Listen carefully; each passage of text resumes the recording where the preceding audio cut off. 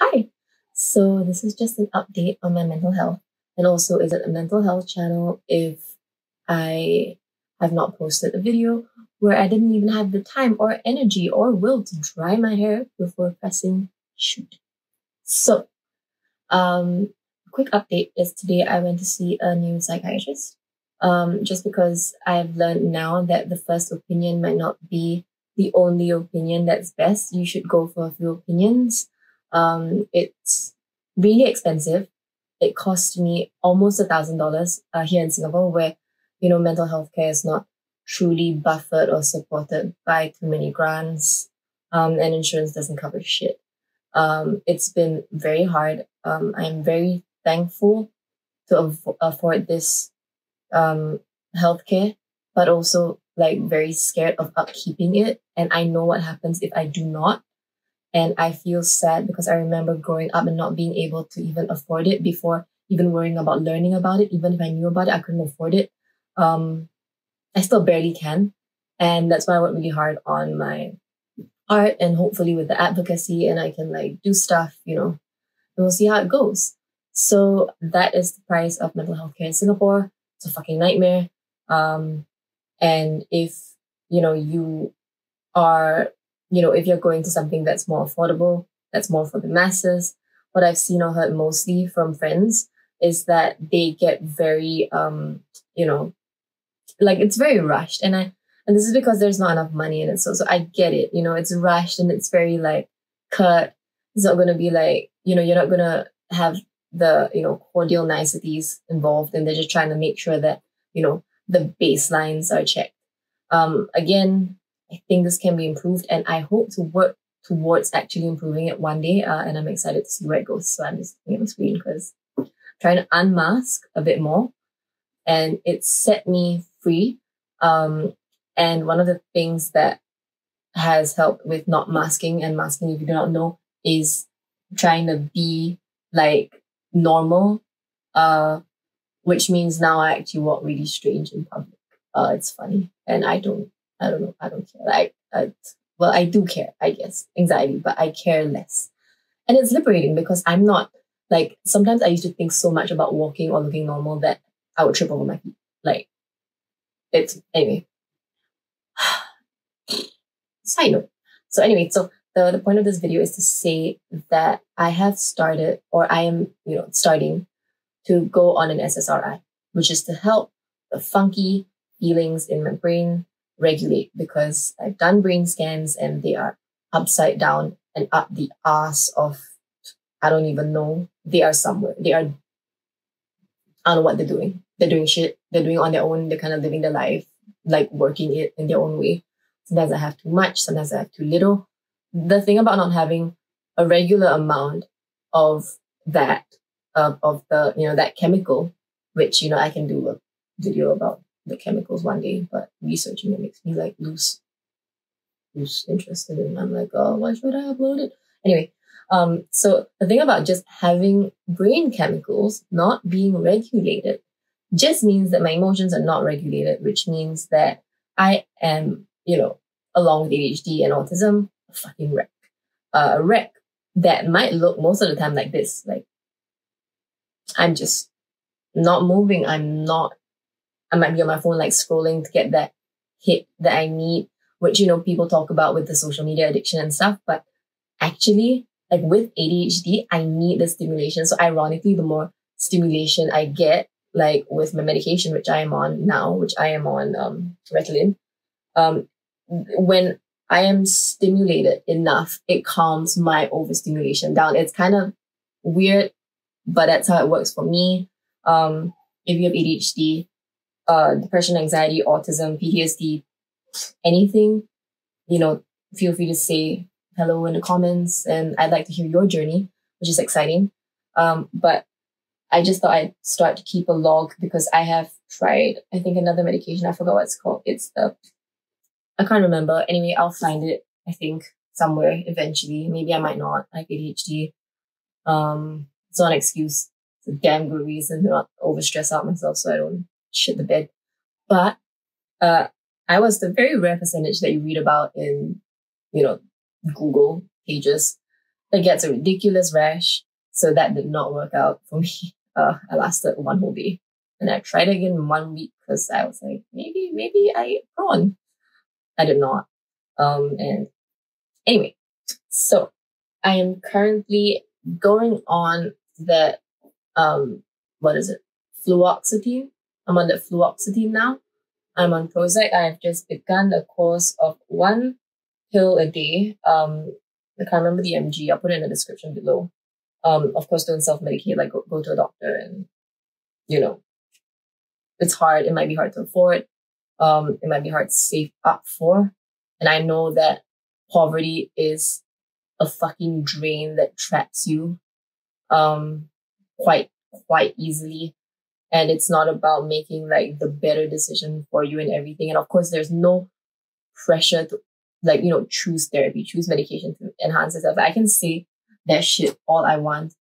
And I live constantly with the guilt of being able to afford like this, but also knowing that I have been on the other end. And I also do not know if I can afford the next appointment. And so that is where I'm now. You know, there is privilege tax. There is, there is guilt because I am aware that I can get help, at least right now in this moment. And there are people out there who cannot. And I have lost friends to this, to mental health, to mental illness, and I am tired of it. And so that's why I do what I do. Every, everything I do is for the little girl in me that grew up with all her fucking Sesame Street alphabet list bullshit, trauma, assaults, bullying, abuse, you know, suicide attempts, you know, depression, anxiety, eating disorders, like all of that. You know, all of this work is kind of like a means for me to heal by also apologizing to myself and fighting for me to make up for the fights that I did not fight when I was younger because I did not know how or didn't have, you know, the equipment or the or the education to do. So um but most of all I I fight for the kids now and I fight for the women and the people and you know everyone else on the spectrum in between the for equality for for better for affordability and like just on the way home from therapy and like panicking and trying to move you know when you don't have a lot of money. I don't know if you can relate but like you have some money in this card some money in that card because you're trying to separate your finances so you get good at managing it and like you're trying to move it left and right and it's in limbo and it's transferring and you can't pay at the counter and there's the anxiety and you already have anxiety and you're like, oh my God, um, are they gonna give me uh worse care because you know that I can't afford it? You know, there's that there's all of that. I don't know if you relate, but I shit a bit whenever my, my credit card, like not credit card, my debit card doesn't work. Um also I don't know, I haven't figured out credit cards. They scare me. I've got one in my life um, or I had one in my life and I was absolutely ripped and it was really traumatic. Um, and so, yeah. So I want to kind of try and do more basic updates like this. I guess I'm not going to worry too much about the background and stuff. Like maybe one day I will, but I'm just proud that I'm doing anything with this channel, um, and my art, which is in progress now. And I have paintings on the website that I'll link below.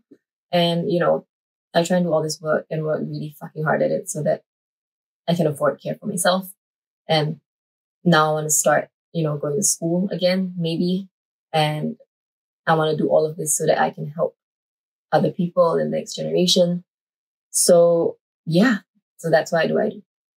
Um, again, I veered off course. Um, I don't even know what medication I have I've remembered or forgotten to take. Um, I just, you know, I'm just happy to start something that hasn't made me break out in a rash yet. It's about three hours into my first um fluoxetine uh fluox fluoxetine what was that pill. Um it's called fluoxetine here. And I am not too nauseous, but I usually feel quite nauseous anyway, um, all the time. And I don't feel more agitated or you know, which is a side effect sometimes with medication. Um, I have no tummy aches, which is good, I guess. I have no headaches. I've been feeling really, really sleepy though. So I don't know whether that's like my usual ADHD or just like, you know, sometimes I just feel really sleepy in the middle of the day. Sometimes like Ritalin like makes me sleepy, you know. Um, but for the most part, I feel, mm, feel, feel not shit, you know, but sometimes I do feel not shit and it's great. So I'm to see how it goes and we're to see if this works. I'm to course for 30 days first and then I'll go back to the psych if I can afford it. Uh, I'm to fucking try. Um, and we are going to see whether, you know, the meds need to be tweaked or something else. Like there are other alternatives. Um, and there might be better medication, but we're also trying to work with affordability in my case. And yeah, things I'm excited about this week is a tiny conversation with a minister in the country. It's an open dialogue session thing, which I got shortlisted for, which is great. But of course, the registration link is jammed. But I hope I pressed send in time. Um, and it's to talk about women's issues, and I look forward to that. I want to speak about equality, race, and I'm gonna try and slip in a bit of mental health care, um, if I can. You know, you know, because girls ADHD, shit I'm passionate about. Girls autism, passionate. Abuse, very passionate. All of that. So I am a wreck, uh, as usual, but I've learned how to embrace it. And yeah, I, I hope this helps me regulate. And, and interesting things that I will probably do a separate video about. No, no, no. I want to do many things. I do try to do many things and I might not. So that's kind of, I wish there was a shorter way to say that. But whenever I say I want to do something, that's kind of what I mean. Um, so, uh, interesting things that my new psych said, he's very affable, um, was, you know, when I am me, I feel like one to 15, which is great, you know, for my art and all that. I can tap it in. Yes. Um, I will always have that range that I can reach for, but I should never be unable to regulate it on a normal basis. Like if I don't need to reach, why am I jumping so high? You know, like not even by choice. And um, what hopefully this medication will do is help me, you know, be sad, but not be devastated over everything. Be happy, but not be so elated I can't move for the next hour because I've just been overjoyed. I don't know if you relate or, you know, uh, as well, you know, anxiety compounds. I have Xanax for that, but we don't want to play benzos too much. So far in the 2021 year, we know that that shit develops, um, dependency. But to be honest, the most benefit that Xanax has given me is knowing that it's in my bag, especially when I'm going out or I'm in a lift or in a plane. Like knowing that I have it has kind of actually helped me so much more and so much more often than taking it. So, you know, there, there's that. But also, I will never deny that it helps. It helps me on like the humps. It, it does. And I am, and you know, my brain is going to suffer for this. I'm, you know, my memory is going to get a bit cooked from this, but it's so much better than where I came from, which is alcohol and addiction. And, and, and it was it's a different kind of escape from suffering. But if in the end, like you get risks either way, I just hope that this path can be more affordable and accessible so that people can choose in the first place to do this if they're in a bad place or, you know, just, if you're just not, you know, this should be an option. It shouldn't be like, hey, do you want to have a beer and a cigarette? No, you should be able to be like, hey, I'm really not feeling it. Maybe I'll book an appointment with my psych. You know, so un- until the day that that becomes a norm, I think I'm really, you know, I've, I've got some ways to go. The world has got some ways to go. And, and of course, this is the perfect, perfect dream world, but I do not think that it's impossible to get to. Um, and I hope by speaking more and more frankly about this, uh, you get somewhere.